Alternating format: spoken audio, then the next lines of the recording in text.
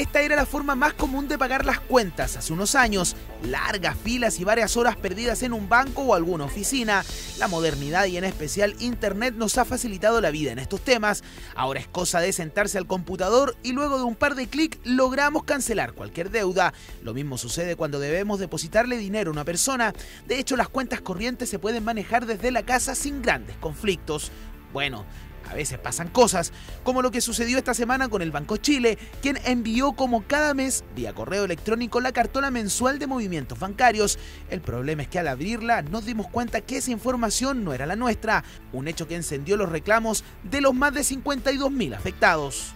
Me preocupa que cualquiera tenga acceso a, mi, a mis datos, a, mi, a todo lo que yo muevo. Los datos pasan de un lado para otro, desgraciadamente. Mala política porque no hay confianza para los clientes. El Banco Chile rectificó el problema enviando nuevamente la cartola bancaria, esta vez de forma correcta, pidiendo disculpas en una declaración pública, aunque asegurando que el error lo había cometido la empresa Xerox, que es la encargada de enviar la información vía Internet. Una explicación que solo despertó más dudas, como por ejemplo, ¿por qué esta empresa conoce mis datos confidenciales? Entendemos que es una explicación la que ha dado el banco eh, pero desde luego no la entendemos como una exención de responsabilidad, porque el banco no puede eximirse de responsabilidad porque son los principales obligados frente al cliente.